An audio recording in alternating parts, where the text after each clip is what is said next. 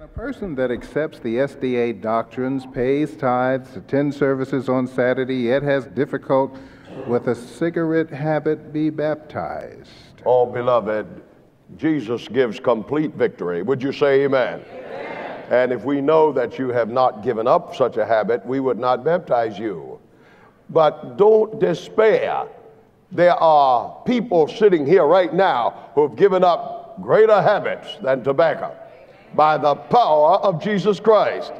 Learn to trust Him and keep on coming. I know, I don't have any doubt, I know He is able to give you the victory if you want it. Next, please.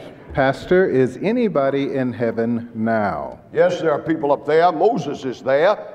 And not only that, but uh, Enoch is there and Elijah is there. And then there's reference to four and twenty elders redeemed from the earth. They are there. Now, uh, by the way, uh, we don't have any guarantee of others. There might be, we just don't know.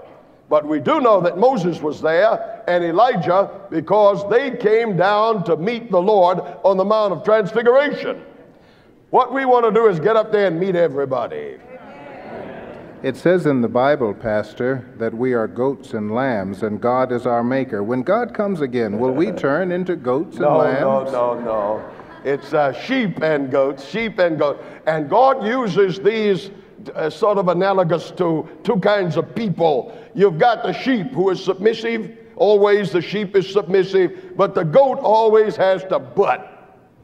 I would obey the Lord, but. I know it's the truth, but you better get changed from a goat to a sheep down here before Jesus comes next.